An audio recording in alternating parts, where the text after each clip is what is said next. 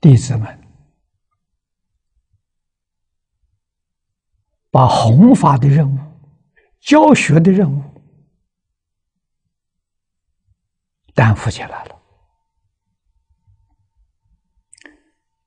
在家的弟子，许多国王大臣、长者居士，护法的工作，他们承担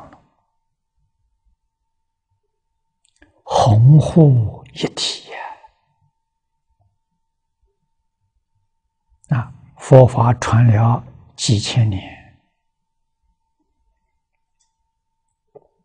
我们从历史上看到。有些地方两三百年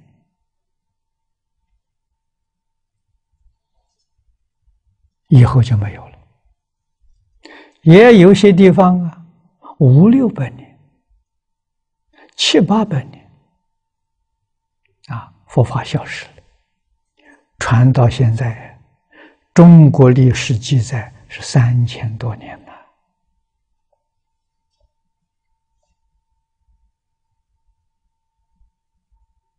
了。啊，外国人承认的。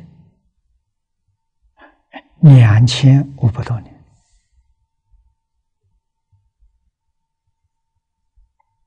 啊，传到今天啊，今天还有没有呢？有，有正法越来越少了啊，佛法变质了。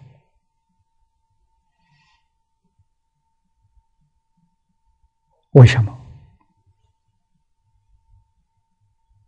这里头的因素很多，最重要的，在前一个世纪啊，我们还不能说前一个世，前一个是二十世纪，二十世纪的初期之前。东方人还守着古圣先贤的伦理道德教育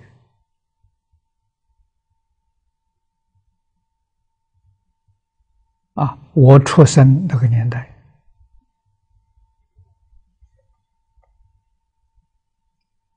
啊，应该是我在十五岁之前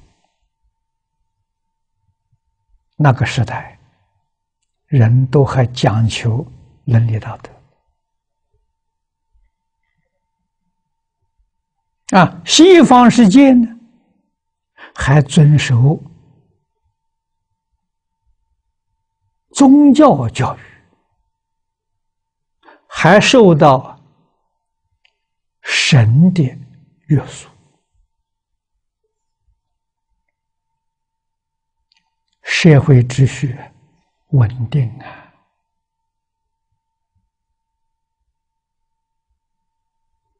啊，还有一些高僧大德，认真的修学，在红船。